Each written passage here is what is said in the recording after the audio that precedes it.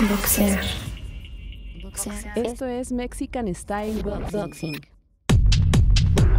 Bienvenidas, bienvenidos a Boxear. Es normal que digan los que no practican box que el costal no te regresa los golpes o que no se puede defender. Pero como saben, no se entrena solo para pegarle con potencia, aunque de lejos eso parece. Hay varios ejercicios para desarrollar habilidades con el objetivo de pelear mejor y que cuando lo hagas ya en una pelea puedas usar esos movimientos y pelear con técnica. Aquí les va el primer tip. Camina alrededor del costal. Vamos a hacerlo lento, enfocados no en un ritmo de pelea y tampoco en lo más básico que es traer solo las manos arriba. Vamos a empezar a movernos con ritmo. Lo importante es que aprendas a mover tu defensa, que aprendas a distraer con fintas, que mantengas preocupado a tu oponente. También tus manos necesitan memoria, necesitan ganar soltura y ganar en movimientos más naturales, sin la rigidez que luego puedas experimentar en un sparring. Por eso es importante entrenarlos y no llegar a improvisar en la pelea.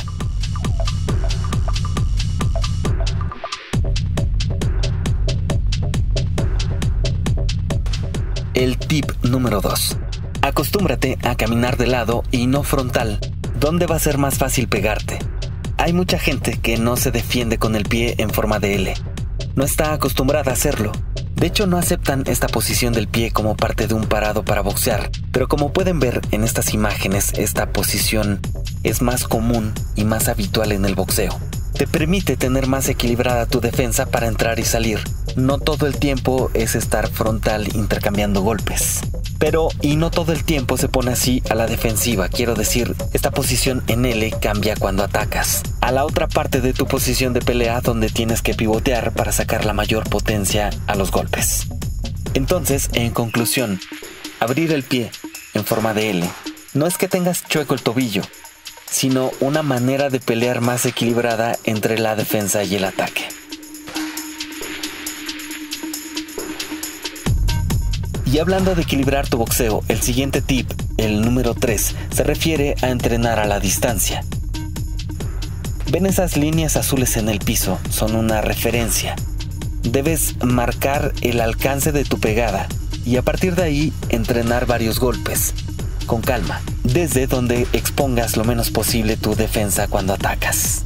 Es fácil pegarle al costal, y más cuando te acomodas sin pensar en defenderte. Es muchas veces lo que solo vemos, alguien pegándole al costal, pero hay que saber meterle técnica para aplicarla. Y aquí estamos hablando de entrenar tus golpes a la distancia en la que vas a tener a tu oponente y conociendo el alcance de tu pegada.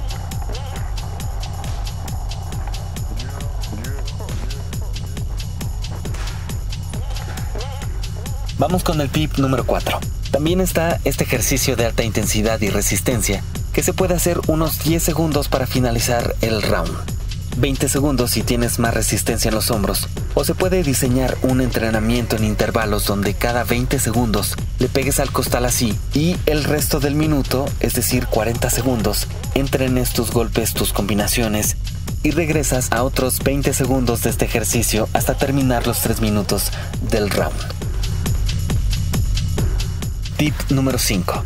Si aún no dominas tu técnica para pegar con los nudillos usando guantes de box y de repente pegas solo con la parte acoginada o solo chocas los guantes, no te preocupes, eso le pasa incluso a los más profesionales, a los campeones mundiales, cuando entrenan.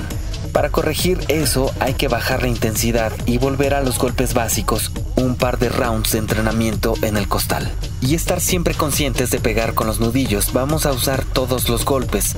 Usamos el jab, eh, usamos el cross, el upper, el gancho con ambas manos, sin usar combinaciones. Recuerden, es volver a lo básico solo por un par de rounds hasta que dominemos la técnica.